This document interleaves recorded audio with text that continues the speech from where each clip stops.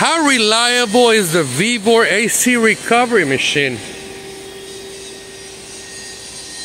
Must be excellent, right? Well, let me tell you that if you buy one, you're probably gonna have to use your own machine because this one works. 14 year old machine, full of burst shit and, and dust. Works no problem. You try to use a brand new machine that's two months old, it doesn't work.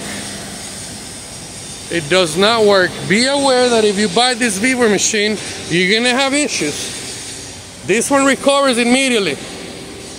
It's old, it's full of burst shit, it's full of fucking dust, but it works, it recovers. This one does not recover. Be aware, be aware. Don't make the same mistake I did.